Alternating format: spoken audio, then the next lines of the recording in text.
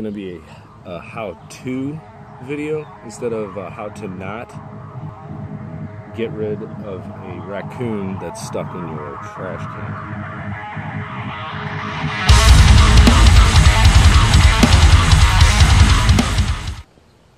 Here comes the fun part.